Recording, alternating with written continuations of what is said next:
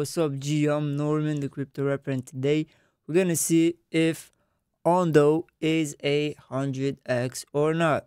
First of all, if you want to find 100x's, 50x's, whatever you want, good projects not to get fucked in crypto, I created a $20 course for beginners and advanced people. So, yeah, it's in the description. And uh, this is not financial advice. I'm just a rapper after all. First of all, okay, I mean we we are here to make money. So if you ask me what is Ondo, I don't fucking know, cause I took a look. A new era of financial inclusivity on chain. What the fuck does that mean? You tell me.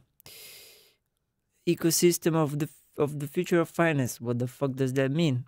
You tell me.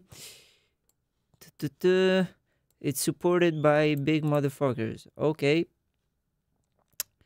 I, I, I you know, I, I tried to look at this non-profit, bruh, bruh. I mean, whenever there's no way somebody had the audacity of putting non-profit and Cayman Islands in the same fucking sentence. Oh my god, I, I, don't like this, but whatever. Uh, let's talk about the chart. The chart looks good. The chart looks good. It's something on Ethereum. Still, I, I don't know what the fuck did they do, but please explain me in the comments. But I'm here to invest in the token. Maybe. Chart looks good. Uh, it looks solid. The market cap is already 1 billion, so I don't think it's gonna do 100x to be honest.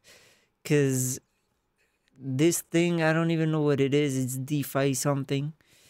Uh, 100 billion market cap is rare on like even Solana in the last bull run got to 80 billion. So I don't know if a random DeFi project can do 100 billion. Maybe if we have a hundred more times the money this run, but never know.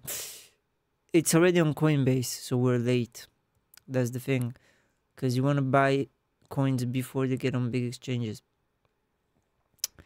So yeah, uh, you, you correct me in the comments, please, but I don't think this is a 100x. It can go to maybe 5 to 10 to 20 billion. It may be a 5 to 10 to 20x but I don't even think so because circulating supply is around 13 14% of the total supply meaning that probably there is there are private investors and VCs waiting for the chart to go up to dump on US and get away with the money.